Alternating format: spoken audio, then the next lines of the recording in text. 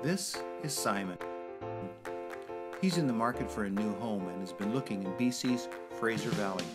Spending hours looking online has left him totally confused and frustrated as he's been trying to reach the listing realtors, but there are hundreds of realtors thousands of listings in the Fraser Valley. Simon has been talking to some realtors and leaving messages for others as he's looking for availability, information, and some guidance. But at an open house, Simon meets realtor Ed Sheeran.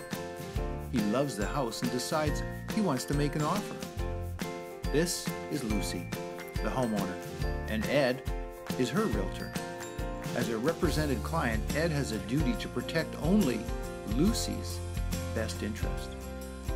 Ed is limited in the information he can provide Simon as he is only allowed to give him relevant property information on Lucy's home, since he cannot represent Simon as a client.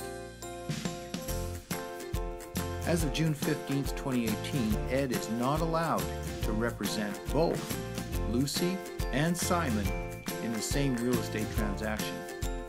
Simon could make an offer on Lucy's property, but Ed must treat Simon as an unrepresented party.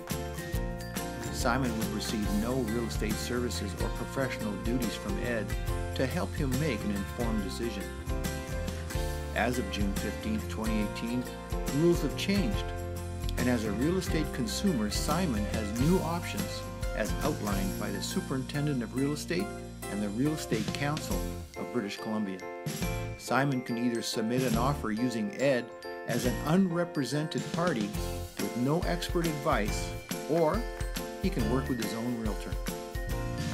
This is Ray. Simon can choose to work with Ray as a represented client, then make an offer on Lucy's property with the confidence and the security of special legal duties offered to him by Ray as his realtor. Let Ray help find the right home and negotiate the best price and terms for you with your best interest in mind. For more information on these changes in the buying process, get in touch with Ray through his website and get him working for you. You'll be glad you did.